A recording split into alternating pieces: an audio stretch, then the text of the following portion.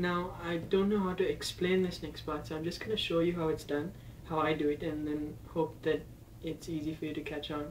Um, essentially, it's not difficult chord manipulation, it's just a D, and you're just letting go of your middle finger. So once it's done, it should sound like this.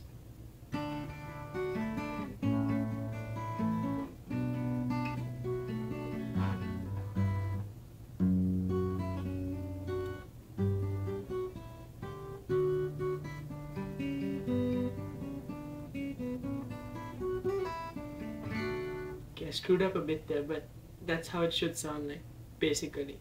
Um, so the way it goes is on the D, you pluck without your middle finger, and you pluck only 4, 3 and 2, so you're going,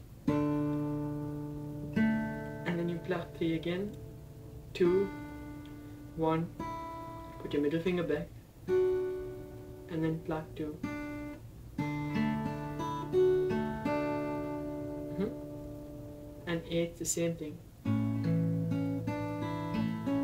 except you're putting your pinky down. So play 5, 3 and 2 or any strings you want really. It's just, I was just marking around so you're just going, feel free to do whatever you feel sounds best. So, so I play 5, 3, 2 and then 2 again and then I get that extra note where I put my ring finger, my pinky down on the third fret of the second string and then I pluck open E and then I let the pinky go and pluck the second string again so D mi B minor.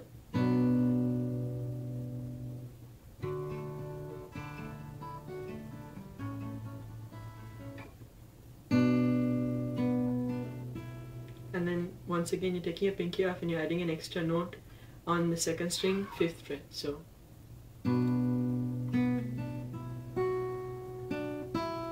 so yeah you want to sound second string third fret?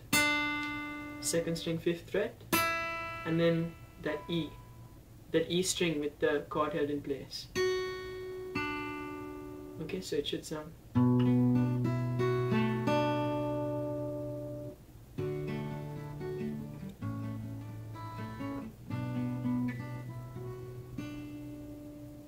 And then you're going to shift your F sharp minor shape but just just play the ring finger note. And then you're playing the E string. So you're playing E string pinky on the fifth fret of your second string all the while you're plucking this string. And then remove the pinky and place your middle finger on the third fret of the second string. And then put the pinky back pluck the E string.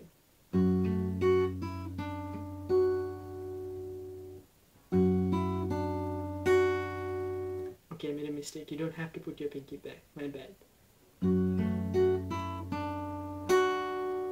And then revert to G. And then you're manipulating your first string again. D again.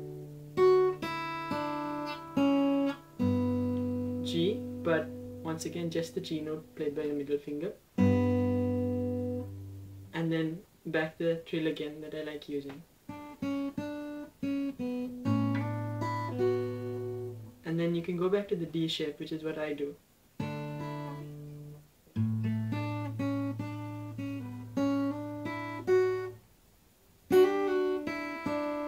And I use that D shape, I use the first and second strings to trill again. So it comes up